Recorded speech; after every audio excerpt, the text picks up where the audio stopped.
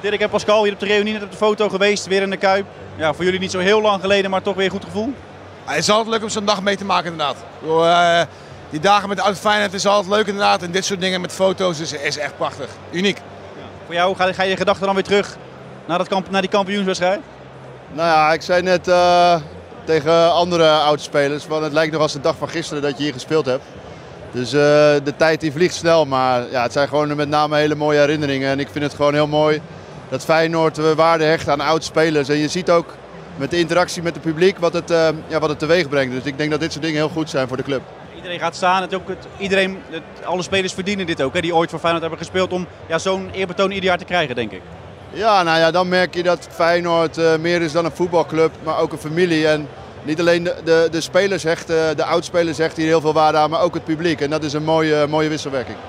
Het mooiste vandaag? Hoe je een beetje lunches allemaal bij elkaar komen? Welke verhalen heb je allemaal gehoord? Dat, dat, dat, dat soort dingen inderdaad, al die oude verhalen. eh, ja, je hebt ze zelf niet, eh, niet heel bewust meegemaakt. Maar die verhalen zijn natuurlijk heel mooi om te horen. Dat zijn wel echt leuke dingen. Noem eens eentje.